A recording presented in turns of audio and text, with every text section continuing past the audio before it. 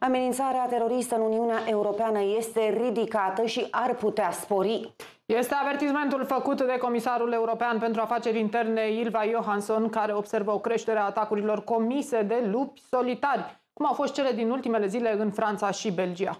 Concomitent în țara noastră, polițiștii numără și localizează pe cetățenii din Orientul Mijlociu cazați în hotelurile din România. Dar mai multe detalii ne aduce chiar acum colega mea, Marina Silimon. Bună dimineața, Marina, te ascultăm!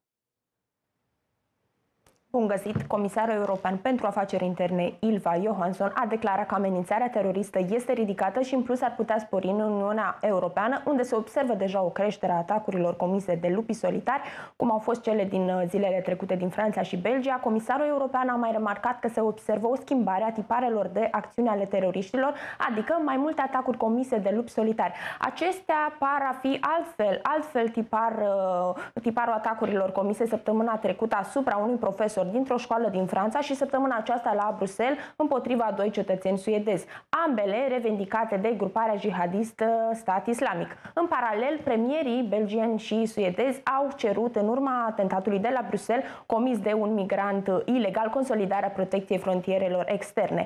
În aceste condiții în care președintele Comisiei Europene, Ursula von der Leyen, a ridicat gradul de alertă în toată Uniunea Europeană, pe peste cele 40 de atacuri care au avut uh, loc săptămâna trecută doar în Franța și în Marea Britanie, aici țin să reamintesc că Franța este una din țările în care uh, au fost ridicat în tocmai gradul de securitate.